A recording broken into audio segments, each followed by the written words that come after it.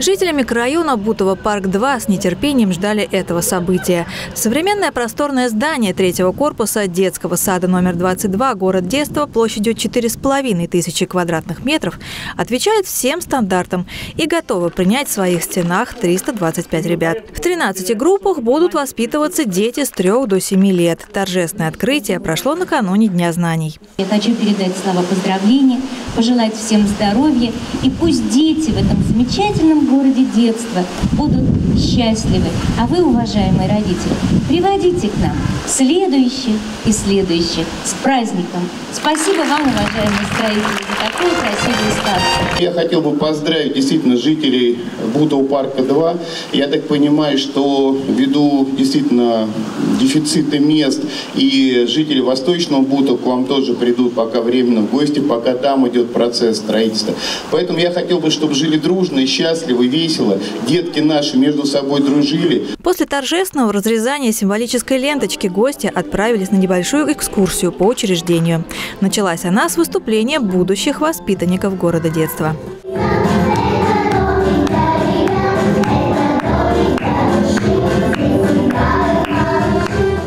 Третьем корпусе города детства есть спортивные и музыкальные залы, кабинеты для дополнительного образования детей, занятий с психологом и логопедом, пищеблок и медблок.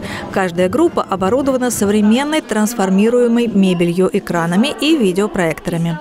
Сад светлый, чистый, красивый, уже модернизированный, то есть есть э, э, новое оборудование, предусмотрены уже ноутбуки э, в группах, ну, дети, новые игрушки, им все интересно, все как бы замечательно.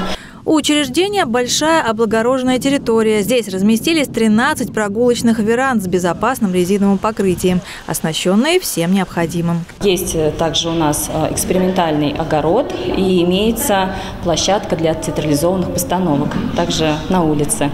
А, мы работаем по инновационной программе от рождения до школы, а, парциальной программы по музыкальному и физическому развитию.